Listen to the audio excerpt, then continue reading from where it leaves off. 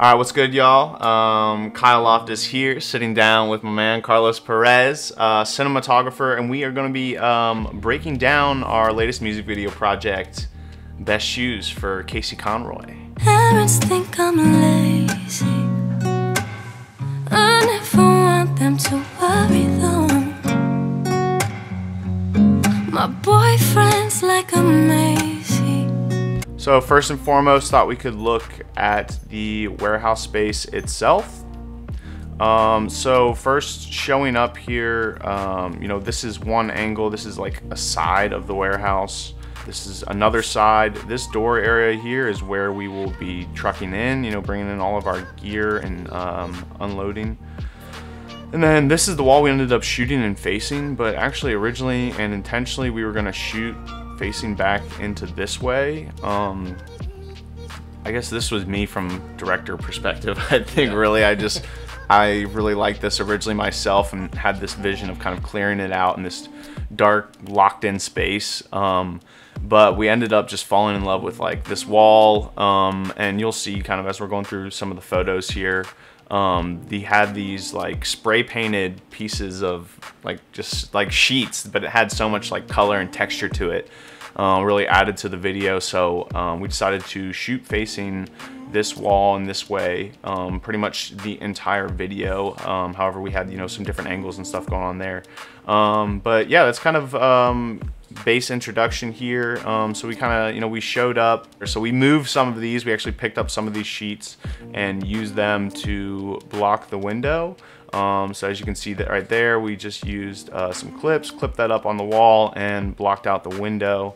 Um, and this is me kind of setting up uh, Aputure uh, 120D um, with the Godox softbox. Um, but I think we ended up changing it out for the light dome, if I'm not mistaken, correct? Yes. Um, Um, we wanted um, when I saw the the Yeah, shot that we we were gonna do. Um, I I checked like the size of the Godox and the one that I had, the light dome, and it was a tiny bit bigger. And like just getting that stuff, It like, makes- like yeah. swap that? out?" It makes a big difference. yeah. Um, and obviously this scene wasn't in it, but I thought it'd be fun for us to go ahead and just like talk about it briefly anyway. So So I this is the shot that we changed it to the light dome 120D, um, and we got it as close as we could to her without affecting anything else, in order to get like a bigger source on her because this was a very like beauty shot type of thing. Mm-hmm. yeah, So it's like you want as big of a source as possible. So like we got that there uh, without affecting anything else. the angle we're shooting at, like Yes. that is not a, like for the most part a glamorous angle. Like it's hard to pull that off, you know. And so that was a concern too. Like especially like how you light it, like making sure you're not getting you know like Yes. catch like you're not so getting really creasy shadows and we had some lower angles coming down up. I was like, this is like the big no no. Like, don't shoot down up. Um, but I mean, she pulled it so well. something I've been trying to do lately. Like it's just experiment and see ways that I can make like music videos a bit different, um, stand out, be a bit more unique. Found this piece of glass and I thought it'd be really cool for a silhouette look. Um, and we'll kind of talk about that first. Um, but we actually decided to do a completely different look that I think was actually my favorite of the entire music video. Um, that we kind of just like, again, you know, luckily stumbled upon uh, on set and decided to kind of roll with. So this was uh, pretty simple. Again, we, used the Aputure 120D. So it's back here on the C stand. It's kind of hard to see, but we have it super far away. Um, so that way, you know, obviously we're getting really hard light from our source, excuse me, um, keying in. And so that way, you know, we're getting this really nice silhouette look here. Um, something I thought that was really unique that we decided to do was like switching in and out between a really soft focus and like a hard edged focus, um, which I thought was like really, really unique. And there's a couple times you see it in the music video where I think like the timing of Yeah, so of the rack focus. I don't know if you did that intentionally, but like it's so beautiful Yeah. how, how the timing works out so perfect. And that was really it we used for lighting there because again, like what is in frame is just this little box here. So you're not seeing anything else. So it wasn't like we had a ton of different things we had to worry about lighting. We didn't have to light a whole entire scene. Um, it was just this little spot right here. And then again, as you see, you know, pumping in just a bunch of haze. Um, we just wanted to add that in again to kind of soften. And we also had, uh, if I'm not mistaken, a black pro mist uh, Yes. filter on there, but I believe pretty much every shot, right? Yeah, yeah, it looks great. I loved it. You know, added a little spicy sauce to the to the video, add a little flavor. Um, but our next our next uh, look here, um, the beauty look, I would call it. Yeah. um, so, and just adding a little bit to the previous one, um, we shot Yeah. it with a hundred mil. The next part was when we were um, walking in, when I was walking into this location. Uh, Casey was actually on the other side of the glass, like not where the exactly. She was just there, like chilling. Just looked amazing, and I, I remember telling her like, "Yo, like check this out. Like afterwards, after we do like the, the main look that we're gonna do, we gotta see this because it's I want to see how this looks on camera. Um, and we went for it. So we got her super super close, um, like that. We got her super close to the glass. Again, we're still shooting with the 100 micro. Uh, so it looks like a very surreal. The actual shot looks very surreal. Like you don't know where you're at. It's like what is like where is she even? Like it looks sort of like that. So you're like, where is she? Like super flat background. Background. Um, you barely see that. the the rim at the bottom. Uh, super soft light. Um, she was very gentle with her expressions and everything she was doing. So it just worked ridiculously good. It was a super soft source, and then there was one point that you yelled at her. You told her to like kind of get super close to the glass, and this was a surprise for all of us. I was looking at the monitor. She got close, and all the little glass just like did some weird prism looking Lighting, thing. yeah, like, Like- on her face. Like it was hard for me like shoot it and just be excited. Like, are you seeing this? Like, uh, so it was super exciting. And so I guess doing these first two looks were very fashion beauty, and so like we were still kind of. This is another point to kind of bring up. I guess you know, was originally when I pitched this kind of idea to to Casey. Um, you know, I thought a black and white look Yeah. was the way to go. I've never done a music video black and white yet. I thought it'd be the way to go. It'd be super unique and interesting. Um, but as we kind of continue on, you'll, well, as you've seen the video, like you'll realize it's not black and white, it's color. Um, we couldn't resist. And I mean, even these shots, I think, you know, again, like this beauty look, especially like the, this, her skin tones just looked like amazing. And, and the highlight roll off, um, again, the light was just so soft and I loved how it like was like lost in this abyss of blackness. And so next, um, we jump into kind of the leading look, if you will. I mean, this kind of tied into like everything, but um, setting up the whole projector. So you know, idea with this music video, you know, is she's like in this headspace, you know, realm, but like she's like again like contemplating through video format here, but like in reality, like she's really contemplating like in her mind, you know, um, in this headspace, uh, going through past memories, you know, reflecting on the better days, you know, when times were easier and stuff. So getting this set up and running and operational was a little bit of a hassle. Um, thankfully, we had um, some great some great people in, in our PA Nation uh, on deck to help kind of operate and get that going. Most of the video was shot with my Canon FD50s, so like we're always getting like that nice beauty close up of everything, and that lens just flares beautifully, great for the for the skin tones. And uh, lighting wise, projector just shining at her, pushing the camera's ISO as much as possible because the projector is not that strong. And then you you were in the back with that red. Well, I ended up having so I had uh, so I could actually be on the monitor here watching. Yeah. Um, so we had EM, Oh, uh, EM Films, Emmanuel, uh, based here in Orlando, help out. Yeah, we used a flashlight there that um, out in Germany, who essentially made me this Really? Oh. custom. Yeah, that's a custom flashlight. So like he took the chip out of the flashlight and replaced it with a new one. So it's like an extra bright flashlight. Um, but anyway, so we had him holding that there, and then he had a red gel over the top as well. And so we had him hold that there, um, and then he was just uh, using his fingers and kind of like running in between, uh, created a little bit of space between the flashlight and uh, the gel, and he was just running his fingers between there. And so that was what was causing that like red flicker, Flicker. effle- I didn't know what it was. I was like, I don't know what's happening back there, but I love it. yeah, I mean, like it just looked so good, and it was like so subtle, and I thought it fit so well with like the projection because like this projection, we're seeing all these different color changes, and it's kind of like flashy and choppy, and so I thought it like really emulated that that like motion and effect and color and and all that, but it added to the video as well. What did we use a ton of? Haze. Haze. I don't think we So hazed haze. anything as much as we hazed uh, this scene. The funny thing is that we're hazing and using a pro mist.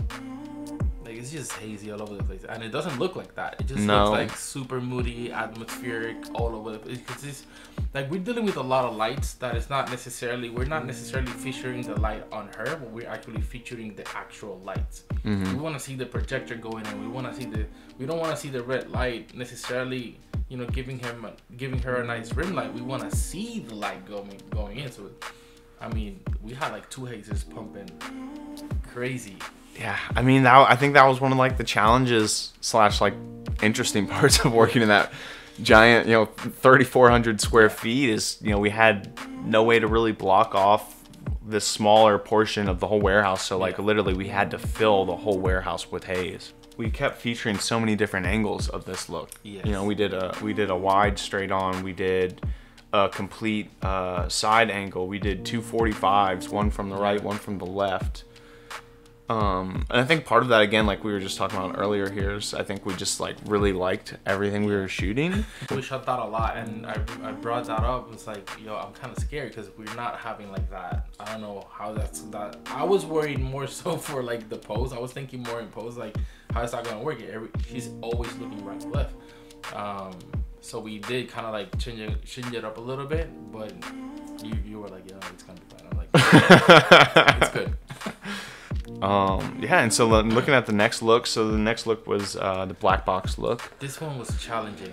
So wide, we had a wide feature we wanted to do, and we wanted uh, a close up as well to kind of pull on the more, more emotional side of things. So this one was tricky on the lighting on what we wanted to do because um, the storyboard was something, and uh, I know that wasn't like verbatim what we needed to do. That was kind of like the idea, but I was kind of stuck on that because it looked amazing. I was like, "God, but I want that specifically, which is like a long shot, super cut down streak of light going into her, kind of like very specific and everything blacked out. Um, that couldn't work and because of the location and all that stuff um but you had set up that benji builder or something you could speak more about that. And um when we were there so we started lighting her. This one we took our time like straight up. We had i think three 120ds in total. So we started with the softbox behind her and then like everything else was super blacked out. And that was kind of the look uh, but then I remember I put the other one on her left side, so we were having this like super harsh like back side lighting here and here and this whole black. And again, thinking that this is a female artist, I'm thinking beauty. I'm like, this is very weird. Uh, like we need that beauty look in a way. And we hazed the whole place down, and it kind of looked better than I thought. And then you went in the back. Um, and it was all you again with the flashlight. Just like went in and, and started like moving it around, and I Yeah. think you got somebody else uh, to do it afterwards, so you could go to the to the monitor and direct. Um, but yeah, we could see here the look that it was. I, I mean, at this point, I was like going with it. I was like, okay, this is artsy.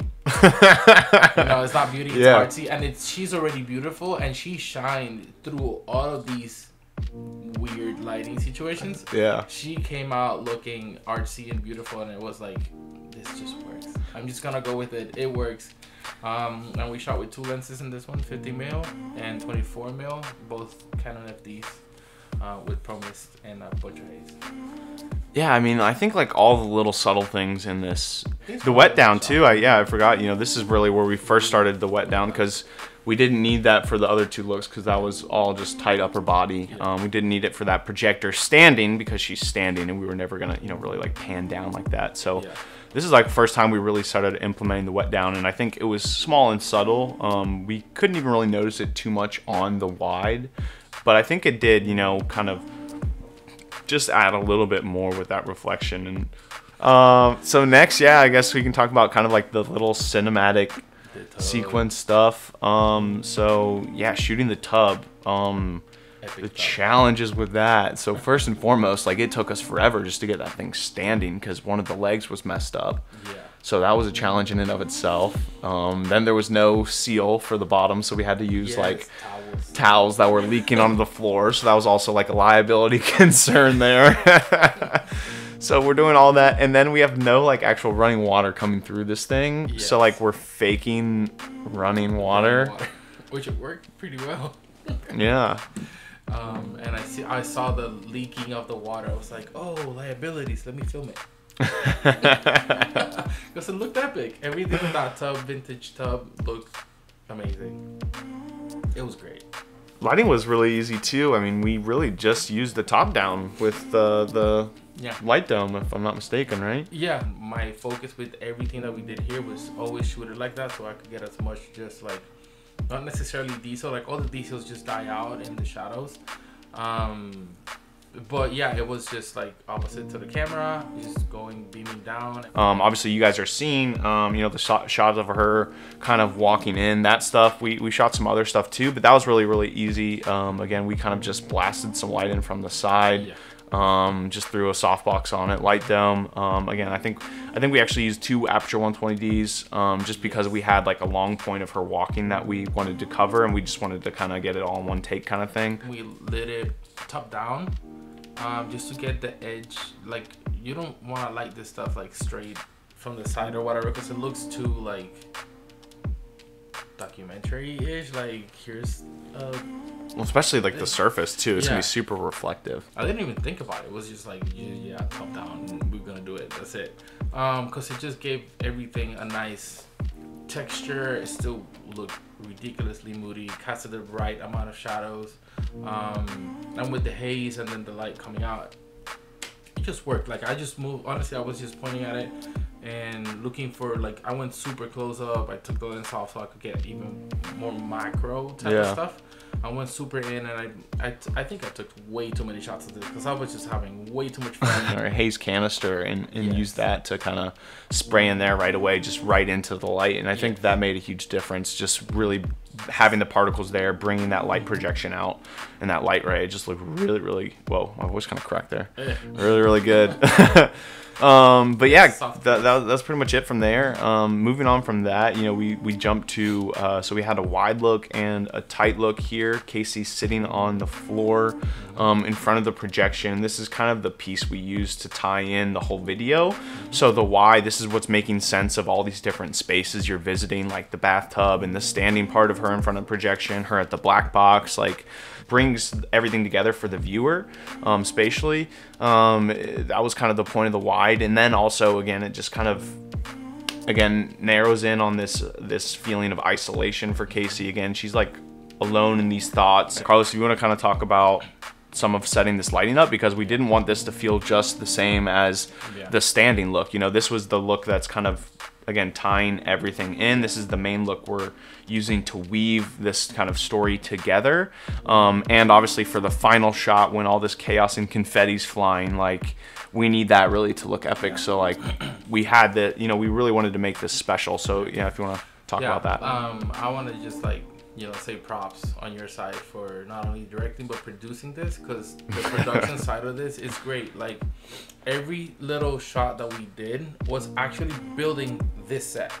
Like we shot the mirror first in order to like get that out of the way because that doesn't interrupt with anything else. We shot the other thing was behind this set of us that didn't interrupt anything. Then we started shooting the bench one, which was starting to build this set, Yeah. kind of, uh, and the projector scenes. That like that's we was starting to build it. We uh, then brought in the tub. We did everything tub, so that we could be here in this very spot, which was the the photo before, because this one. and when the floor's confetti flooding when we need it, it's yeah, flooded. exactly. And then the floor, like, it was getting wet as, as, as we needed. Um, and then, so for this one, we shot it with a 12 millimeter Laowa to get the whole thing in, like, in the frame. Um, the main shot didn't have those two backlights. It Mm. was just like the projector light, Yep. and I was pushing the camera to places I didn't want to, but it worked perfectly. So I'm happy with that. It was kind of scary. It was like we had the vintage projector and then a normal projector. Which kind of the vintage worked. It's just the, the actual diameter it covered was Yeah. like maybe the size of my monitor we're looking at now, like 40 inches or so. Yeah, it Um, so we couldn't use that, and then obviously, it yeah the brightness was way way too strong, um, and it was just this really harsh yellowish orange light, which we wouldn't want on Casey's face. Yeah, you can see me crunching down right because I wanted to shoot having the since you could see the projector lights. I wanted to be uh, for us to like to see the lights on top and be on her angle, and you directed the guys that were doing the the angle of the projection super well because it just covers her face and everything else is like in shadow. That thing was great. I love that. Um, and as I was shooting that, oh, um, we didn't have any other lights. It was just projector straight in. That for the wide, for, the, wide. yeah, Yeah, because obviously, again, we're like seeing the whole space. Like, exactly. even though the mirror stuff wasn't included, you know, Yeah. I thought about that too, and like I made sure the mirror and all that stuff stay there the whole time because I knew when we came back to the shot at the end, people are gonna see that, and like continuity would be kind of ruined in Yeah. that sense. So yeah. Yeah. um, but yeah, I thought it'd be co- cool to like talk about like the challenges of like making it unique and like have a good look for the close up, and especially you know of how we were trying to shoot it, um, especially just being like on sticks, flat. Um, we don't have any movement with it. I mean, I plan to put movement and punch in and post. I, you know, I mentioned that to you, but um, everything else we had, you know, natural fluid movement for the Yeah. entire video, and this was kind of shot entirely differently. Oh, for sure. Yeah, and then we moved on into the confetti shot, which we uh, another kind of challenging thing. Whenever you want to see anything particle, be water, confetti, smoke, anything, you have to light it from the back. So we had a very symmetrical. Everything was very symmetrical in this video, and we had these lights that we the, the two 120ds corner corner pointing in so that we could see the confettis at the end coming in. You can see it from the back. Um, and we plan to shoot that with the 6K Blackmagic 6K. Yep. Because he wanted to punch in uh, and be able to have that two angle thing. So we shot it with 6K so he could do that. Um, and we shot it slow motion, 60 frames. Uh, she was singing twice the speed. So we could get the, the confettis actually in slow motion. Sorry. How do you think it looked? I think it looked amazing. I think it looked. Uh, I was thinking it was gonna look slower, but she nailed it. She like practiced there, singing like a chipmunk, and uh, it's always weird. Um, but yeah, but that look was the same thing, same setup, just two, um, the two lights in the back. And if you want to talk about the confetti stuff, because I, I don't know how you can pull that off. Um, yeah. So pretty much planning and getting ready for this uh, this scene setup. So we used uh, two giant industrial fans. These were gonna kind of throw the confetti up in the air. And, and I remember too. Yeah, you were you you definitely were concerned about this this shot because I remember I had like already worked with uh, the people earlier in the day, like or not earlier in the day, like probably just like ten minutes earlier, and like tested the fans with the confetti, and you and you like wanted to test it again before we shot. You're like, wait, can I see it? Yeah, I didn't know. Uh, yeah, no, but so we had two industrial fans kind of pointing up at like a 45 towards Casey, um, about I'd say maybe three feet from her, something like that. Um, and so we had a bunch of shredded paper, um, confetti, and all that getting thrown from some people um, into the fan that would then blow up into the air in front of her. Um, we had two people in the background, um, just out of frame, and they're tossing different pieces of clothing and like shoes behind Casey. And so my whole idea, and we didn't end up using as much of the shot as I like, and I'm okay with that because I think it, the way I cut it was, I think, It works perfect. perfectly with the video and like just the build up and leading to this big moment. Um, uh, but I thought something that that was really cool was you know like the clothes and shoes flying in the background. So I would have liked to maybe see a bit more of that. Anyways, um, yeah, that's that's what we had going on. And so in order to make that happen and I think look fluid and good, I knew one thing not only having the confetti coming from uh, both sides, but mixing in again some shredded paper. Like we didn't want it to look just like this like party theme. It still needed to have like somewhat of like a grunginess to it, you know, because it's like this big emotional moment in her mind and stuff. Um, and so that was part of it. And then again, was making sure that we had two people on each side with each industrial fan. So the idea was that um, there's constantly, so when one person is uh, tossing, you know, confetti and the, the paper over the fan, the other person is digging in and grabbing out. So like there's never not confetti flying. And so it felt like it was raining the this confetti and uh, paper. Like I didn't want it to feel like this stuff's flying in from like a party. Like I literally wanted to feel like it was raining just chaos. Um, and so that was kind of the idea behind that. And actually, we wanted to bring in like a barrel and like light that shit on fire and Yes, do all this stuff.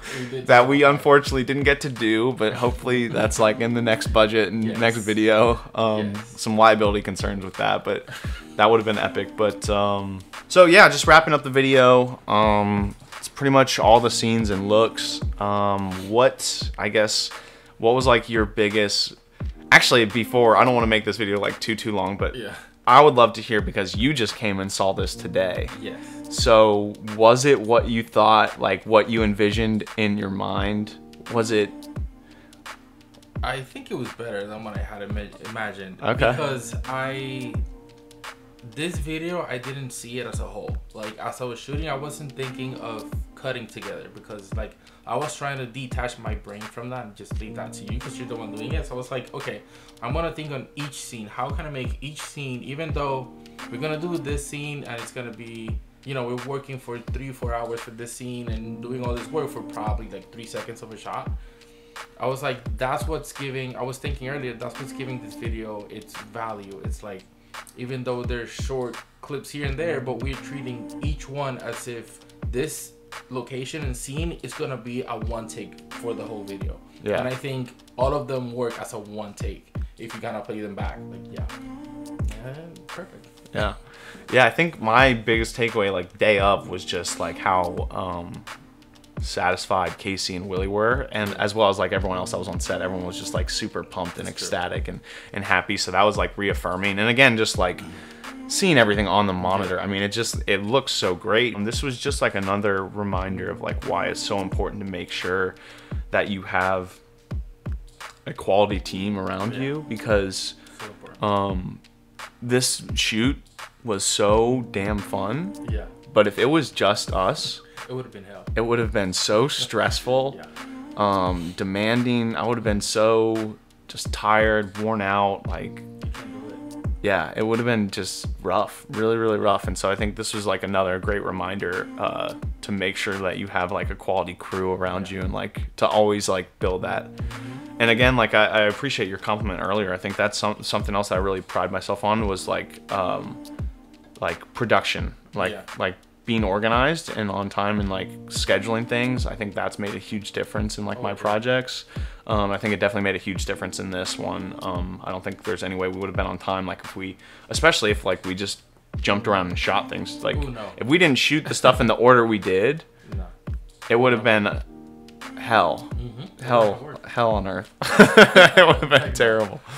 Um yeah but I, I guess that's that's pretty much it from me. I don't, I don't know if you have anything else. Closing remarks? No, I loved it.